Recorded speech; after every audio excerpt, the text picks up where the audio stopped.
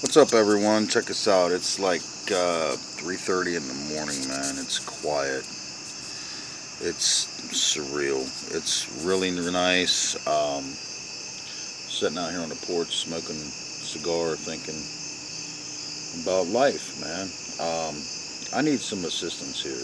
I need, uh, I'm reaching out to all you people that know me and to you that don't. Give me a hand here. Um, I need some advice. I got fleas in my basement, man. This this shit, I swear to God, this is what keeps me up at night. Um, I got fleas in my basement. Some cats got down in my basement, our cats, and of course the fleas jumped off, and next thing you know, the fucking basement's polluted with them. Um, I've set off bombs. I have set off fumigators. I have put diatomaceous earth on the fucking floor. I have uh, went down there with buckets of bleach. I have went down there with gallons of kerosene and sprayed the fucking floors. I've went down there with sprays. I went down there with pans full of water, just little cooking, like cookie sheets full of water and soap with light bulbs over top of them to gather fleas, you know. I've done all this shit and it's not getting rid of them. I need to get rid of these fleas. Um, I can't afford a fucking exterminator.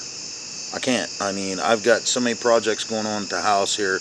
I'm getting ready to start the new fence. I'm getting ready to start uh, my greenhouse. I got to do my floor. I'm putting a new floor in. Um, I'm going to build my 75 gallon aquarium back up and get it running again. Um, you know, I just don't have it on my plate to hire a professional exterminator and not have it work. Um, so if y'all could give me some advice, man, um, please. Every little bit helps, man. Um, I'm not asking for money. I'm not asking for nothing but advice. Give me some advice on how to kill these little fucking motherfuckers, man. I've got Seresto. I just went and spent $150 on fucking Seresto collars for my dogs to get rid of the fucking fleas. It worked on the dogs. The cats, we don't let the cats in the house now until fucking summertime's over. Uh, we bring them in once a week, bathe them, and take them back out. Or we bathe them outside. Um, we don't have fleas in the rest of the house, just the basement. What works to kill these motherfuckers once and for all, man? I mean, I need help, please. Y'all take care. I love you.